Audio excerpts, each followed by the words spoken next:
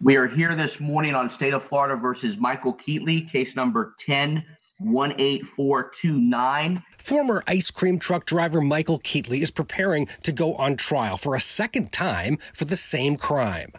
Upon further deliberation and discussion, the jury has not reached a unanimous verdict, period.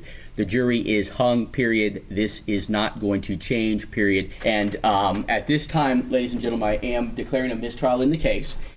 Keetley is charged with murder and attempted murder for a 2010 shooting that left two brothers dead and four people injured. Prosecutors claim it was a case of vigilante justice after an armed robbery on his ice cream truck crippled his hand. But this time around, Keetley will be without his longtime defense attorney, Lyann Goudie who made a tactical decision to not make a closing argument in his last trial, stunning the prosecution and depriving them of a rebuttal argument. The jury in that case deadlocked. We have nothing else to say to the jury. You're comfortable that you um, know what you're doing when you make that decision not to have Ms. Goudie present a closing argument. Is that correct? Yes, sir. Are you satisfied with the services of your attorneys up until this time? Absolutely. Goudie stepped away from Keetley's case after the mistrial, saying she only ever committed to one trial. Now she is set to become a circuit court judge. It was very hard watching that file go out of my office. But at the same time, I feel that it went to attorneys that can also do an excellent job for him. But now Keetley's new attorneys from the public defender's office want out, filing a motion claiming a conflict of interest in the case.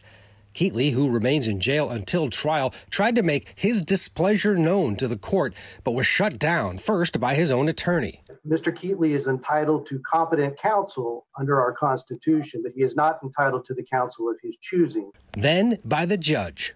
All right. Do you have any opposition to the court allowing the public defender's office to withdraw? Yes, I do. Okay, all right, stop right there.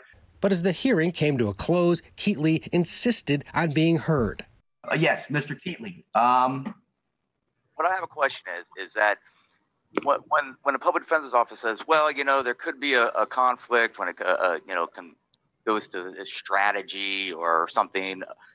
Well, what if you decide, okay, we're going to give it over to, to regional counsel. Regional counsel looks at the case and says, you know what, we don't agree with, with, with some of the, the strategies set aside by the by the previous. Well, Mr. Keetley, let me let me stop you there because I'm very concerned about um, you, are represented and you're represented at this time. I invited you in the beginning for the limited opportunity to see whether you oppose it or not because um, it would have been very simple had you not opposed it. No, no offense to you. I'm not suggesting that, that you change your mind or that your mind should have been uh, different in the beginning. But to, to allow you to speak and ask questions at this time, um, those are certainly bridges that uh, we'll cross when and if we come to them. Judge Sabella ended up granting the motion, and when Keetley stands trial again, a new team from the public defender's office will face off with prosecutors who believe they have enough evidence to put Keetley away for life. It was an amazing trial, and, and there was some really good lawyering. Lyann Goudie, who was the um, the lawyer who represented Keetley, uh, incredible strategy move at the end. Um, you know, prosecutors go first and last during closing arguments, and the defense goes in the middle. So the prosecutor gave like this real mini opening closing argument, and there really wasn't much to it. And then she said, We waive ours. And then the prosecutor was stuck because they were expecting to be able to do a rebuttal. Never happened. Jury hung, and they were leaning for not guilty, unbelievably, in this case, despite the evidence that I saw personally watching the trial. But a um, little bit of a mess right now. We'll, we'll, see how it all pans out. Let's bring in Lee Perlman, criminal defense attorney, former prosecutor, uh, joining us from down in Tampa. Uh, uh, Lee, great to see you again.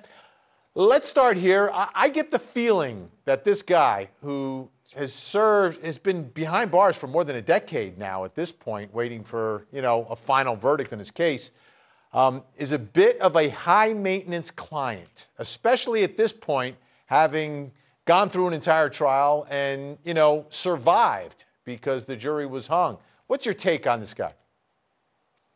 Yeah, I mean, that'll happen, right? You, you have a scenario where he's been sitting in custody for 10 years, right? He's been involved with every aspect of his defense. He had a phenomenal, phenomenal trial attorney the first time around, trial team, really.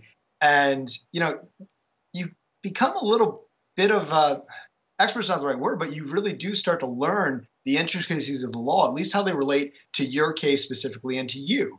And you know, I'm sure the frustration mounts. It's hard. He went through an 11 day trial, right? 11 days on top of a decade in custody. you know, I, I, at this point, I think almost anyone would be high maintenance. I, I, I, so I can't blame him for that. And he saw a phenomenal legal strategy employed on his behalf, and it, you know, worked. A, a hung jury, you know, the, the analogy is like kissing your cousin or something like that. It's, it's, but it's still on the defense side, especially when you you have such a serious charge. It's a, it's a battle that you win you know so yeah I, to answer your question i'm sure he's become high maintenance if he wasn't in the beginning yeah the bad news is though from um, my experience and, and watching trials here for a couple decades at court tv and other places is that the retrials inevitably advantage prosecution. Every time. Every time. You know you lose a lot of the surprise that you could have. You lose a lot of the you know unknown components. I'll tell you what's going to happen in this trial for sure. The state attorney is going to give a very long, thorough, comprehensive closing where everything is laid out as opposed to a uh, 10 minute uh, close where you think you're going to, you know, wait and lay everything out in detail on rebuttal. So you get all the, the big whams and the big hits for the, you know, the last thing the jury hears before they go to deliberate. So you're absolutely right. Every time it will favor um, the state. Now, I can tell you that's not always the case because the state also tends to show their hand too. I, I personally, I did a, a, trial three times in Hillsborough County. It was a leaving the scene involving death. Uh, it was hung, hung, then not guilty. So while I what you said is absolutely generally the rule, there are exceptions to that. So you know, the state's shown its hand. Everything's been said. Everything's been done. All testimony's been taken on both sides. And here, you know, as you said, the jury was leaning towards not guilty which I also I'm, I'm with you uh, in your opinion as far as there was a lot of circumstantial evidence, direct IDs. You know, it, it's a very interesting case. It's almost a law school exam. Oh, absolutely. And and to me, you know, circumstantial evidence is to me I find very compelling. And and the one circumstance in this one that is still sticking in my head, right, is after the shooting, for whatever reason, he needs to get his van painted and it's like an all right? an all night painting session. Like who gets their their vehicle painted like overnight?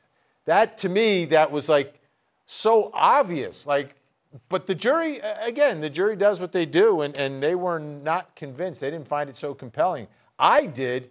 Um, they do have ID problems though, and that's the biggest problem that they have going in.